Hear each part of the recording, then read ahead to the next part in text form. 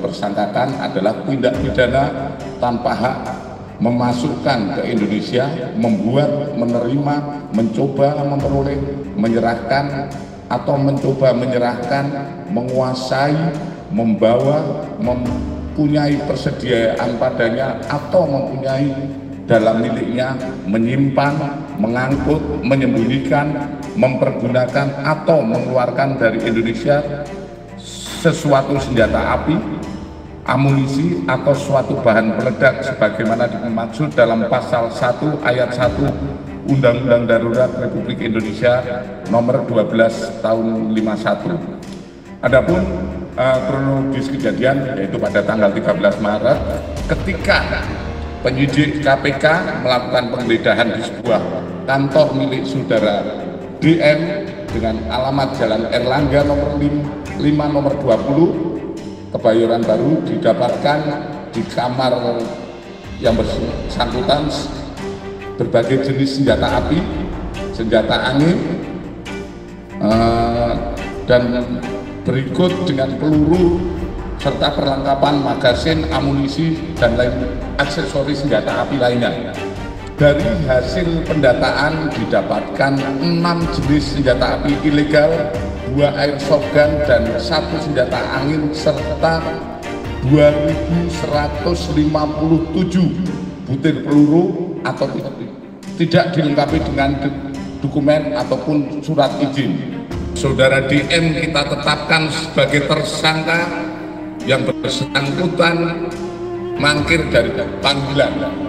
Setelah mangkir panggilan, kami menerbitkan DPO dan Eh, dengan upaya-upaya penyelidikan dilakukan oleh penyidik pada tanggal 17 7 September 2023 penyidik melakukan penangkapan terhadap tersangka di Bali dengan menyita satu pucuk senjata api obot gun dan 55 butir peluru yang melekat pada tersangka DN dan hasil pendataan senjata tersebut terdaftar atas nama tersangka dan langsung dilaksanakan penahanan di rutan Bareskrim sampai dengan saat ini adalah 105 hari.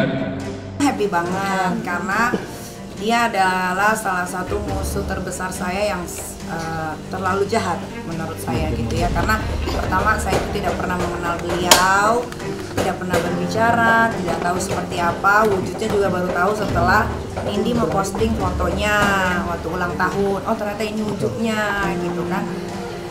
Sa uh, uh, apa ya? Ya buat saya Dito bodoh aja sih kenapa mau sama Nindi Ayunda. Akhirnya kan dia jadi tidak bisa hidup dengan tenang, tidak bisa 378 lagi, tidak bisa menipu orang. Ibu Surya kan banyak uangnya yang ditipu sama Dito juga kan. Banyak loh uang Indosuria yang uangnya ada di Dito tuh banyak sekali gitu. Lah orang-orang itu juga sudah melaporkan sekarang karena dulunya takut karena sering diancam. Dulu kan itu suka pakai bawa-bawa bukan aparat ya kayak pengawalan gitu ya kayak pengawalan. Jadi orang-orang tuh takut untuk melaporkan dia karena diancam. Sekarang orang-orang sudah tidak takut gitu karena juga dia sudah jadi tersangka kan. Itu yang saya aku happy. Ya pasti aku happy karena aku dua tahun aku dua hampir hampir dua tahun aku di di teror dikerjain masuk penjara kan karena dia. Jadi kan sebetulnya Dito Mahendra ini hanya disuruh oleh Nindi Ayunda mungkin Dito Mahendra uh, mau show off ke Nindi gitu kan gue bisa ngelakuin apa aja lu mau apa gitu kan. Lu penjara ini kita Mirzani di penjara di Serang ya kan. Ya sekarang inilah hasil dari apa yang Nindi Ayunda lakukan gitu. Jadi dia gue kalau gue di penjara kan kalian tahu sendiri gue nggak salah kan. Ditonya aja nggak hadir hadir kan. Tapi kalau ini kan udah jelas salah lebih malu mungkin lebih lama nanti. Mungkin kalau gue dua bulan mungkin dia bisa 20 tahun. Apalagi kan polisi juga sudah bilang kan bahwa Indi Ayunda dan Dito Mendra ternyata satu rumah. Ya itu kan Pak Polisi yang ngomong. Seribu persen kalau di Mabes. Seribu persen. Gua aja bisa yang nggak salah dipenjarain di Polres Serang Kota ya kan? Satu pun polisinya nggak ada yang minta maaf sama gue oh bukan lagi syukuran gua akan datengin uh, ada lima panti asuhan. Iya lima, lima panti asuhan dan gua akan membangun satu masjid lagi yang daerahnya masih dirahasiakan Itu bentuk nazar atau gimana itu nazar lah gila gue dua bulan setengah gue nggak salah gue bukan teroris gue bukan mafia gue nggak pernah nipu orang. Belum pernah kan ada kalian masuk berita nih kita nipu uang orang nih kita mau lari uang orang nggak ada kan? Paling berita-berita nih kita ribut udah hara itu itu aja gitu kan. Ya bahagia pasti dibilang bahagia dua bulan setengah aku dipisahin sama gua sama anak-anak gue ya sedih. Ya inilah inilah doa-doa orang teraniaya gitu kan. Kabul sama Allah Oh iya, gara-gara dia, gue di penjara dua bulan setengah harusnya gue terbang. Waktu itu kan ada tiga, uh, ada tiga off air, terus ada syuting, semuanya akhirnya batal. Untungnya para para vendor ini tidak minta uh, kru- apa namanya biasanya kalau kita mau kalau kita nggak jadi ah, refund pasti, tapi maksudnya nggak pakai kerugian yang dia udah pasang billboard gede-gede kayak gitu kan. Untungnya gitu, makanya aku mau terima kasih.